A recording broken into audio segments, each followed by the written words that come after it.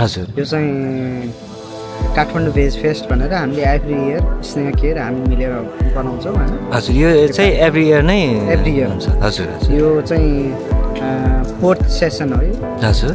हामीसँग भएको। अनि सो हामी चाहिँ स्नेह केयरसँग मिलेर मान्छेलाई चाहिँ भेगनिजममा डाइभर्ट गर्न अथवा भेगनिजम के हो भेगनिजममा कुन फुडहरू तपाईँ मासु नखाँदा पनि हुन्छ भेजिटेरियन फुड खाँदा पनि यस्तो टेस्टी मिल्छ भन्ने एउटा एउटा मेसेज दिनलाई पब्लिकमा जसले। गर्दा चाहिँ मान्छे चाहिँ मासु खाने बाध्य नहोस्। हजुर। अनि अहिलेको समयले सोसियल जस्तै अब अहिलेको इभेन्टहरू पनि मोस्टली चाहिँ मासु भए पनि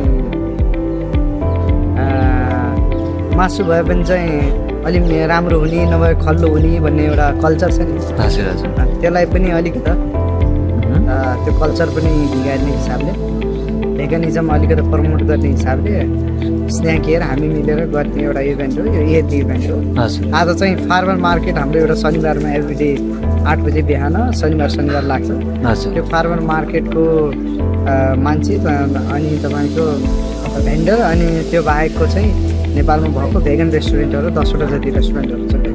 सो भेगनिजम प्रमोट गर्नेमा उनीहरू लाग्ने उहाँहरूको फुडको स्टल राखेर फुड चाहिँ टेस्ट गराएको त्यो बाहेकको फार्मर मार्केटको भेन्डरहरू पनि फेरि फेरि बेला त।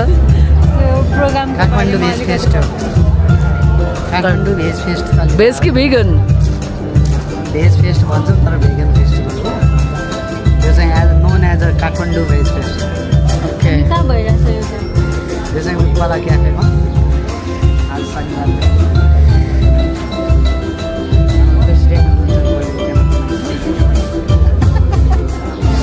अरू केही हजुर के होइन? यस्तो अर्गनाइज बाई स्नेहा के हेर्नु पार्टनर हाम्रो मिलिजुली सरकार